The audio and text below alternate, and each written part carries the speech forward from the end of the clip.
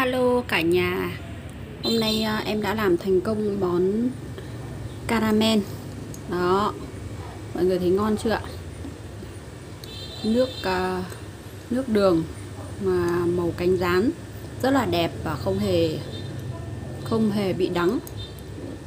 Đấy, nó màu đẹp vừa miệng vừa ngọt ngon thơm và không hề bị đắng luôn um,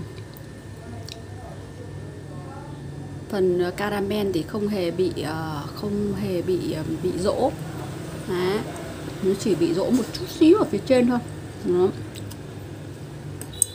do lúc em đổ vào em đổ vào là em đổ hơi mạnh hơi mạnh tay.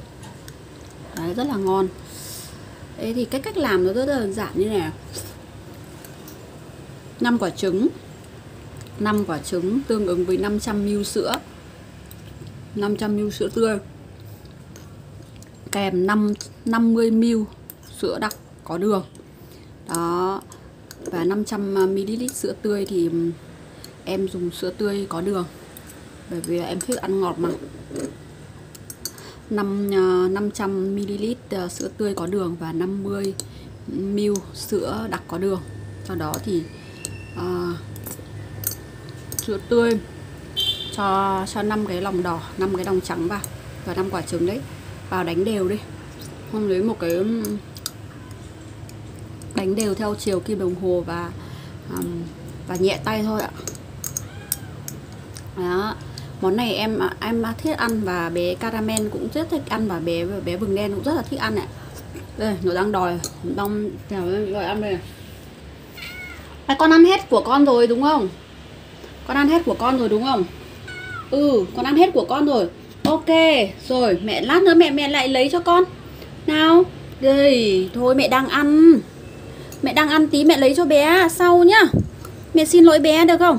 Tí mẹ lấy cho bé sau nhá. Ừ, đấy nó đang thèm ạ. Ừ. nó thèm ăn lắm. Thèm ăn món này lắm. Đó. ngon mà. Đấy thì sau đó thì đánh tan 5 quả trứng đây cùng với cả 500ml sữa tươi và 50ml sữa đặc. Đều tay, rồi lọc qua một cái dây để nó không còn cái lòng trắng, lợn lợn gọn. Để mọi người nhìn thì nó mịn, nó ngon như này này. Đó, hiện chưa? Đấy, bừng đen nó đang thèm ăn lắm đó. Tí nữa mẹ cho con ăn nhá. Thế để mẹ ăn lại nhá. Ừ. đấy, cháu ấy cháu bừng đen á, cháu um, nghiện uh, món này lắm ạ. Con ơi tí tí tí nữa mẹ cho ăn. Tí tí nữa đĩa của con ở đây tí mẹ cho ăn mẹ đang quay nốt cái video nhá. Mẹ đang quay lốt cái video tí mẹ cho con à, ăn cái cái cái bát mới của con nhá. Ừ. À, đây, đây là bé vừng đen đây bé vừng đen rất là thích cái món mới này. Món caramel ạ. Đấy. Còn đâu cái nước ờ, cái nước caramel thì làm thì uh, trưng lên làm à làm như là kiểu ờ, nước hàng mà kho cá thôi ạ. Đấy. Đến màu cánh rán là là ok.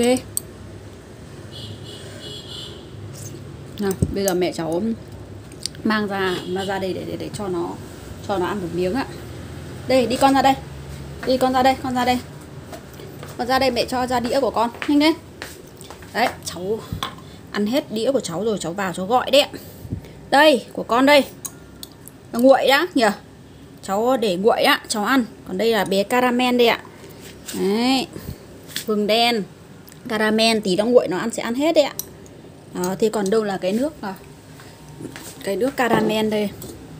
Nước nước caramel đây mẹ cháu bật đèn lên để cho các bác nhìn nhá. Màu rất là đẹp. Màu màu cánh rán rất là đẹp luôn và không hề bị đắng ạ. Thơm ngon thơm ngon lắm ạ. Đó mẹ cho cho thêm vào đây. Đó màu rất là đẹp luôn ạ.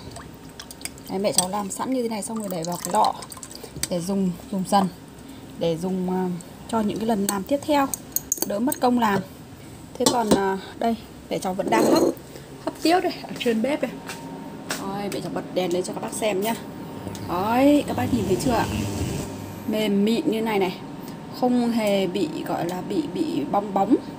Rất là mịn và ngon, đúng không ạ? để mẹ cháu hấp Có hai nồi đây. Nồi hấp. Đó, cái cái này thì hơi bị hơi bị một chút này. Đó, còn cái này thì rất là ngon này, mềm mịn này. Đó, cái hộp này thì đậy kín rồi. Đó. các bác nhìn thấy không? Bên cái hộp này thì cực kỳ ngon luôn, không hề bị bị lứt một chuyến nào cả. Và để mà hấp ờ, hấp hấp cam, caramel thì là sẽ hấp bằng nhiệt độ từ à, nước từ lạnh từ lạnh lên để ấm ạ thế sau đó thì làm uh, để để nhiệt độ gần như ở mức độ thấp nhất. Thấp nhất ạ. Ừ.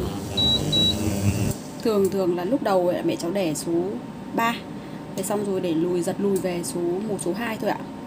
Đó. Và xin cảm ơn các bác các cô các chú đã theo dõi những video của mẹ cháu nhé.